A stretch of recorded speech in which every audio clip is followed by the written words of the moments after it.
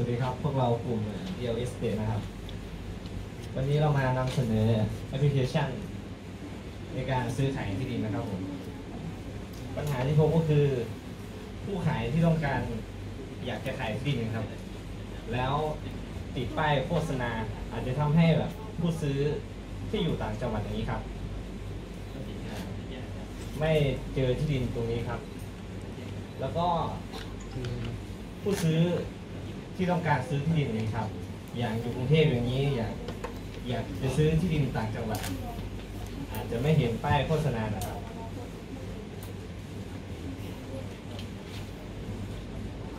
สำหรับกลุ่มเป้าหมายของแอปพลิเคชันของพวกเรานะครับ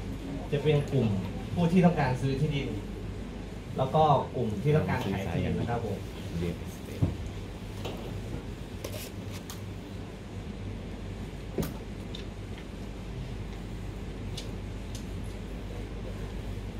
ใน การแก้ปัญหาก็คือ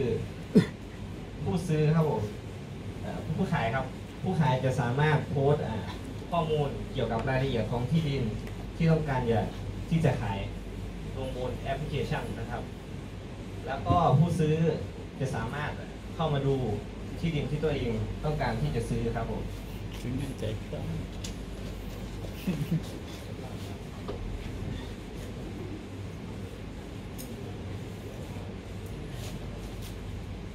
ำหรับแอปพลิเคชันของเรานะครับ ก็จะมีการซื้อง่ายจ่ายคล่องนะครับ แล้วก็มีความยุติธรรมในการซื้อขายระหว่างผู้ซื้อและผู้ขายนะครับสำหรับช่องทางครับ ช่องทางก็จะมีเว็บไซต์เฟซเฟซบุ๊กเพจและไลน์แล้วก็แอปพลิเคชันนะครับ ส่วนค่าใช้จ่ายและต้นทุนนะครับ ก็จะมีค่าเช่าโดเมน แล้วก็ค่าโฆษณาตามโซเชียลต่างๆนะครับ ส่วนการที่เราจะมีรายได้ ก็คือเราจะมีรายได้จากการที่เก็บเปอร์เซ็นต์จากการขายหรือการโฆษณาของอผู้ที่ลงขายในแอปพลิเคชันของเราครับ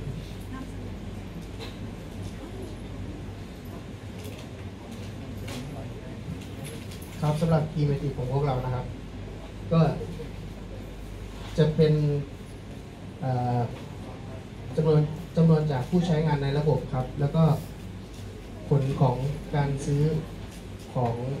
ผู้ซื้อและผู้ขายครับ ส่วน unfair advantage ของเรานะครับ ก็เกิดการใช้งานง่าย และความรวดเร็วในการค้นหานะครับ แล้วก็เกิดการซื้อขายที่ดินที่เป็นกลารและยุติธรรมครับ สำหรับกลุ่มพวกผมก็ขอจบการรายงานเพียงเท่านี้ครับ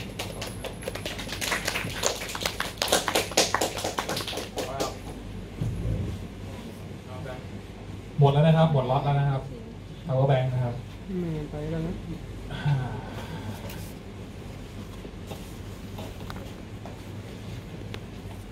โอเค อ่าเหลือสามกลุ่มนะครับ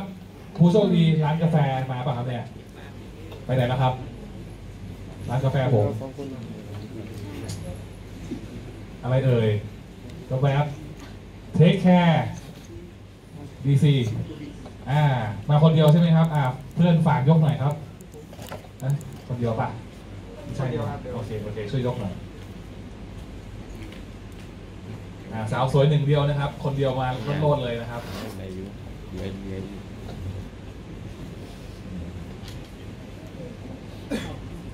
สวัสดีค่ะ ดิฉันนางสาวพัชราพรสมบัติตานะคะมาจากกลุ่ม Take Care DC ค่ะ จากการสำรวจพบว่าในจังหวัดมหาสารคามค่ะมีแค่คลินิกที่รักษาสัตว์ แต่ว่าไม่มีเป็นโรงแรมหรือว่าเป็นที่พักสำหรับสัตว์เลย ก็เลยอยากจะทำเป็นโครงการนี้ค่ะ เพื่อเป็นที่พักสำหรับสัตว์เพราะว่าในคลินิกบางทีได้อยู่แค่เป็นกรงสี่เหลี่ยมเล็กๆอะคะปัญหานะคะก็คือระบบมีระยะทางขอขออภัยค่ะ ระยะทางการรับส่งค่ะ แล้วก็เจ้าของไม่มีเวลาเลี้ยงสัตว์ ไม่มีเวลาให้อาหารสัตว์ แล้วก็อุณหภูมิในแต่ละวันเนี่ยมันมันแปลเปลี่ยนได้ง่ายค่ะสัตว์อาจจะป่วยหรือว่าอาจจะช็อกได้ถ้าเกิดมีอากาศร้อนๆสัตว์ทะเลาะกันค่ะ ส่วนทางแก้ปัญหานะคะก็คือรับสมัครคนขับรถที่อยู่ในพื้นที่ใกล้เคียงอำเภอละ1-2คนค่ะเพื่อความรวดเร็วในการนำมาส่งที่โรงแรมของเรา เวลาสัตว์ทะเลาะกันเราก็จะมีคนที่คอยแยกสัตว์ออกจากกัน แล้วก็ปรับอารมณ์สัตว์โดยการที่ให้เขาออกไปเล่นข้างนอกหรือว่าไปเล่นน้ำได้ค่ะ ถ้าเกิดอากาศร้อนเกินไปในโรงแรมของเราจะมีแอร์คอยปรับสภาพอากาศหรือว่าสัตว์ที่ป่วยก็จะมีเครื่องฟอกอากาศให้ด้วยค่ะ กลุ่มเป้าหมายของเราก็คือคนรักสัตว์นะคะ แล้วก็เป็นที่รองรับสำหรับ คนที่มาเที่ยวในจังหวัดหรือว่าคนที่จะออกภายนอกจังหวัดแล้วไม่มีเวลาเลี้ยง เพราะว่าบางทีโรงแรมในจังหวัดมหาสารคามก็ไม่อนุญาตให้นำสัตว์เข้าไปในที่พักได้ค่ะใส่คุมกล่องให้ทีนี่อันแฟร์เป็นเฉดนะคะ ก็คือบริการรวดเร็วทันใจตรงต่อเวลา มีสนามหญ้าแล้วก็สระน้ำเกลือสำหรับสัตว์ค่ะ แล้วก็เปิดบริการ 24 ชั่วโมงค่ะ เอกลักษณ์ของ Take Care DC ก็คือดูแลใส่ใจเหมือนสัตว์เลี้ยงของตัวเอง แล้วก็ เเจ้าของสัตว์เลี้ยงสามารถเช็คสัตว์เลี้ยงของท่านได้ 24 ชั่วโมงค่ะ ช่องทางการติดต่อก็จะมีแอปพลิเคชันของเรานะคะ แอปพลิเคชันนี้สามารถลงทะเบียนแล้วก็ลงประวัติของสัตว์ของท่านได้ค่ะ มีเบอร์โทรติดต่อแล้วก็มีไลน์ค่ะ Key Metrics ก็คือผลตอบรับจากลูกค้าค่ะ แล้วก็จำนวนของลูกค้าที่เพิ่มขึ้นหรือว่าลดลงก็ดูได้จากตรงนี้เหมือนกัน ส่วนรายได้นะคะ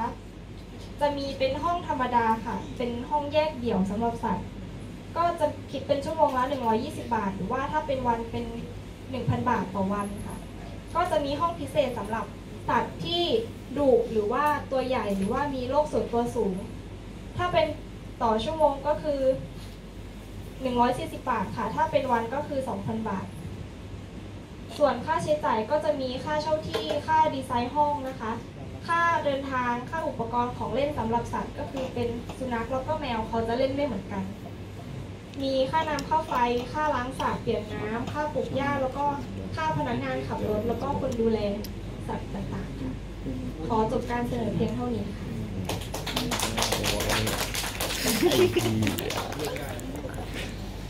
โอเคครับนี่นี่อยากนี่อยากใช้บริการเลยใช่ไหมครับเนี่ยได้ครับ โอเคครับ ต่อเลยเหรอครับเอาไปครับโอเคครับโอเคครับเนี่ยเบอร์นี้ร้านกาแฟร้านกาแฟหายครับผมอาเชิญครับ คนเดียวเหมือนกันนะครับอะสลับกันถือเดี๋ยวส่ง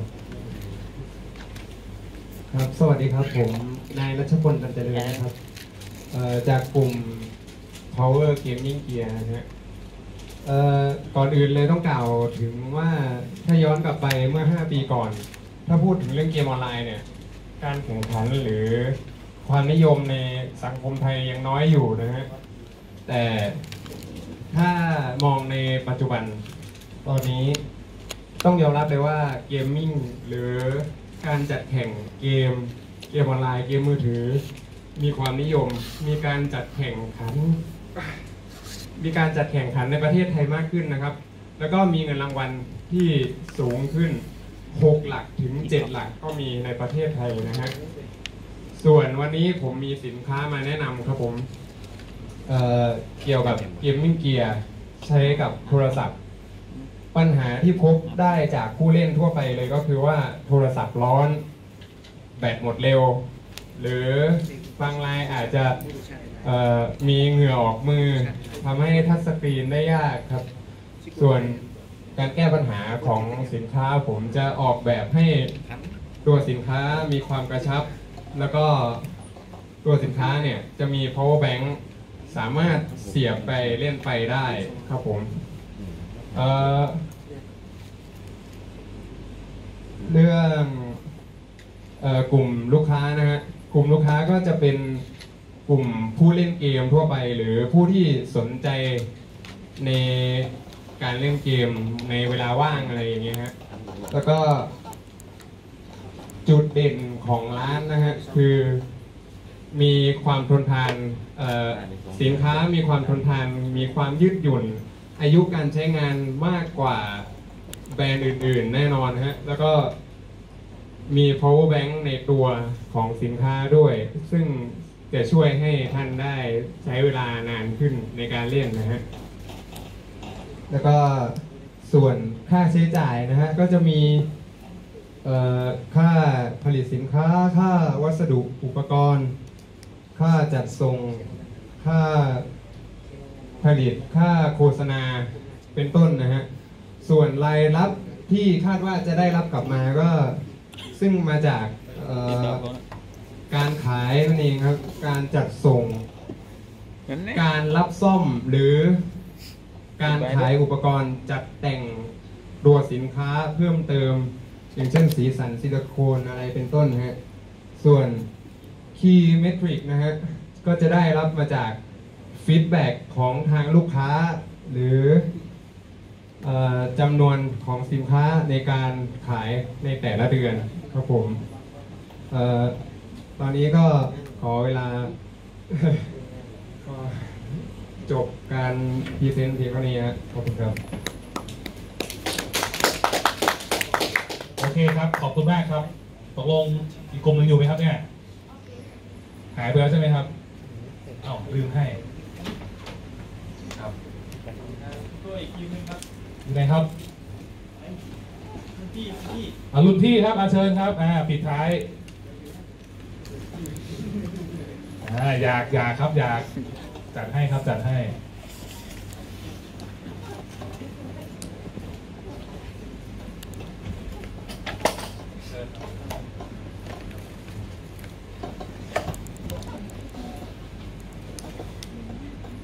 สวัสดีครับอ่ากลุ่มของพวกเรานะครับก็ คือว่าจะทำเรื่องอจะทำการขายขยะออนไลน์นะครับ ซึ่งปัญหาปัญหาเดี๋ยวนี้ก็คือว่าคนเนี่ยหรือว่าคนทั่วไปหรือว่าชาวบ้านธรรมดาเนี่ยเวลาใช้ใช้แบบซื้อของมาแล้ว ไม่รู้จักว่าขวดอะไรอย่างเงี้ยก็ทิ้งไปตามขยะใช่ไหมครับแล้วก็เอาไปทิ้งรวมกันทำให้เกิดปัญหาแบบว่าไม่สามารถคัดแยกขยะได้ครับ เราก็จะทำเครื่องคล้ายขยะออนไลน์นะครับ โดยตัวเนี้ยจะทำการคัดแยกขยะ แล้วก็ย่อยขยะไปในทีเดียวนะครับทำให้เราซื้อของมาแล้วดื่มเสร็จแล้ว เราเอาไปขายได้เงินอีกนะครับ ส่วนลูกค้าของเราก็คืออผู้ผู้ผู้ที่แบบ ซื้อซื้อของมาแล้วครับ ซื้อของมาแล้วก็อ่าทิ้งขยะ คือไม่รู้จักคุณค่าของขยะครับ คือเอาไปทิ้งไว้ก็เสียมูลค่าเปล่าๆครับ คือนำขยะตรงนั้นอะมารีไซเคิลใหม่ดีกว่านะครับ ส่วนต้นทุนของเราก็จะมีค่าอุปกรณ์นะครับ ค่าเซ็นเซอร์ในการย่อยขยะนะครับ แล้วก็ค่าไฟฟ้าที่เรา ตู้ขยะ เราทำเป็นตู้ขยะครับไปตั้งตามศูนย์ห้างต่างๆนะครับ ส่วนรายได้เนี่ยเราจะเก็บเก็บ เก็บค่าขายขยะจากตู้ตรงนั้นนะครับ เป็นเปอร์เซ็นต์นะครับ เราก็จะมี partner หรือว่ามีอ่าคนที่เขารับซื้อขยะพวกนี้อยู่แล้วนะครับ มาเก็บจากตู้นะครับ แล้วก็คิดค่าบริการ 3%จากจำนวนขยะในตู้นั้นที่ได้นะครับ แล้วก็มีการอ่า การเก็บค่าเปอร์เซ็นต์ที่ได้จากการนำเงินออกจากระบบนะครับ ครับ สรุปแล้วของพวกเราคือเครื่องรับซื้อขวดพลาสติกหรือขยะรีไซเคิลต่างๆนะครับ ก็อยากให้ทุกคนมาใช้ของเราครับ ขอบคุณครับ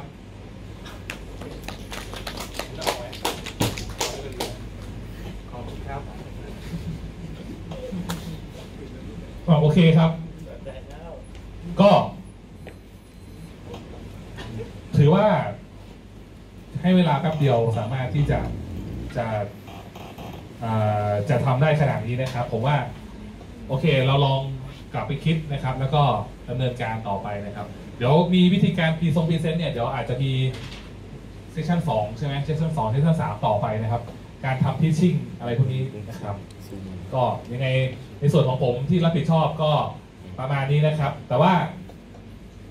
น่าจะได้มาอีกนะครับ ทางอาจารย์ทิพย์อาจจะเชิญมาที่จะเป็นที่ปรึกษาให้อีกนะครับ ก็ยังไงเดี๋ยวเจอกันครับผมขอบคุณมากครับในนามของทางผู้จัดงานนะครับขอขอบคุณท่านมาเสลอมาครับที่ให้นักศึกษาเราได้มีความรู้นะฮะมีความกล้า มีความคิดใหม่ๆแบบใหม่นะครับ คิดว่างานของทุกคนเนี่ย ถ้าจะไปต่อยอดได้ดีมากๆเลยครับงั้นคอนแทคของทุกคนเนี่ยก็ขอไว้ด้วยนะครับ เพราะว่าถ้าเรามีกิจกรรมอะไรเนี่ยเราจะถือว่า first order หมายความว่าเป็นบุคคลแรกที่เราจะเชิญมาเลยเชิญมาอบรมต่อยอดนะครับ แล้วก็บอกอย่างที่บอกไปครับ ของเรามีทุนสนับสนุนให้นะครับ ในทุกงานที่ที่เราตั้งใจคิดว่ามันจะทำให้เกิดรายได้ทำให้เกิดงานได้แล้วกันนะ สิ่งที่เราคิดทุกอย่างอะมันสามารถทำให้เกิดรายได้นะครับ เรามีเงินทุนสนับสนุนให้นะครับ เดี๋ยวยังไงก็ให้เราไปติดตามในเพจต่างๆเนาะซึ่งเอ่อตอนบ่ายนะครับจะมีวิทยากรอีกท่านหนึ่งนะครับ ก็คือมาจากบริษัททางขอนแก่นนะครับ เป็นบริษัทที่ใหญ่มาก คนที่อยู่ในสายไอทีเนี่ย ถ้าอยากได้งานเนี่ยก็มีให้300ตำแหน่งนะคนเนี้ยสามารถหางานได้ก็ได้300ตำแหน่งนะเงินเดือน30,000อัพนะฮะแต่ว่าเขาจะมาพูดเกี่ยวกับสตาร์ทอัพ นะครับคุณบูนั่นเองก็เพื่อนผมนี่แหละนะครับคุณบูนะครับก็อย่าลืมเกณฑ์เงินมาอีก